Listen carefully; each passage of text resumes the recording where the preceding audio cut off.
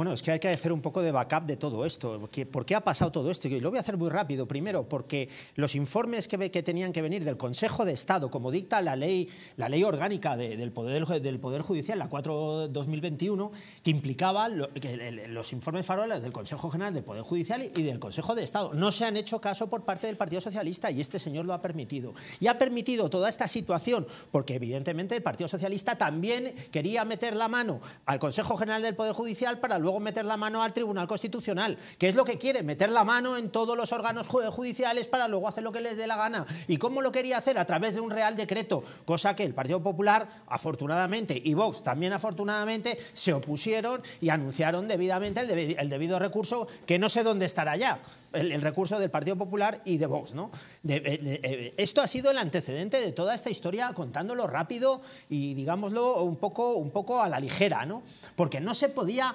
soportar lo que quería hacer, iba, a decir, la barbaridad que quería hacer el, señor Sánchez, que era por real decreto, a, través de un real decreto, intervenir directamente lo que es el Consejo General del Poder Judicial y el señor Lesmes permitiéndolo, porque no ha abierto la boca, porque lo ha permitido y ha permitido hasta que eh, el señor Sánchez eh, llegara hasta las últimas consecuencias, que es ahora que no tenemos presidente de Consejo General del Poder Judicial y no tenemos tampoco por jubilación, repito, por jubilación, Ángel Juanes, vicepresidente, que es el que le tendría que tocar eh, por dimisión, según eh, eh, la ley del Consejo General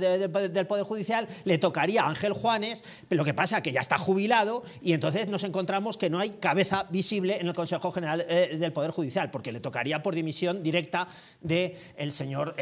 presidente del Consejo General del Poder Judicial. Pero ¿qué es lo que nos está pasando? Qué es, lo que está pasando aquí? Pues que evidentemente el, presidente del Consejo General del Poder Judicial, en atribución al, artículo 588,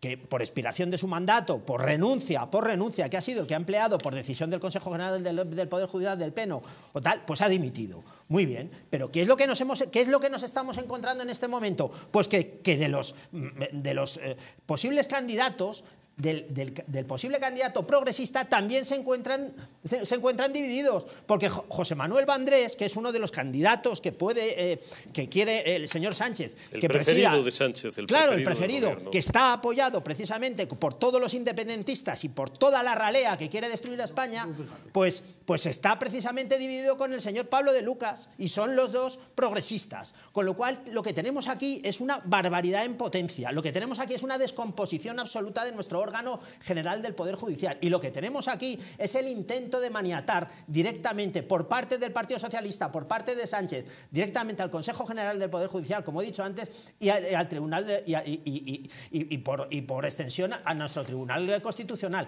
Pero ¿qué es lo que nos de verdad eh, eh, nos estamos jugando ahora mismo? Es que yo no sé cómo el Partido Popular puede entrar a hablar directamente con este señor Sánchez porque, porque además es que no debería, porque evidentemente tenemos que llegar a la reforma del sistema de elección, que es lo que no quiere Sánchez. Y además que no quiere, aparte de no querer la reforma del, sistema de elección, lo que quiere es meter mano en nuestro Tribunal Constitucional.